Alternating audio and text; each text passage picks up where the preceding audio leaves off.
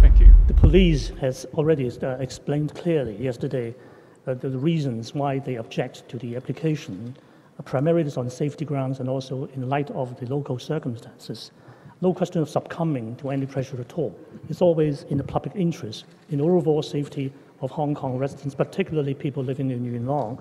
As you can see, uh, Heung Yee Kuk and the district council also expressed grave concern over the situation. So that's why uh, I'm here. Um, the, the appeal board is meeting at the moment. So irrespective of the outcome, uh, as you can see, we are uh, very uh, uh, taking, taking a very serious attitude towards tomorrow's move, uh, whether there's a procession or not. We, we can't rule out the possibility of a large number of people turning up.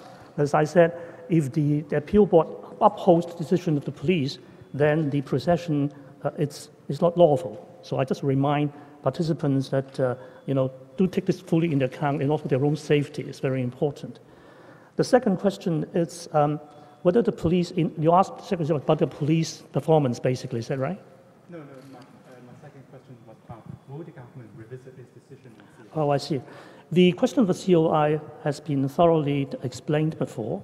Um, we believe that uh, it's, it's better at this stage to uh, pursue the idea through the existing mechanism of the Independent Police Complaints Council, the IPCC, which is an established mechanism operating on the basis of, of the findings of, the, of CAPO, complaints against police officers.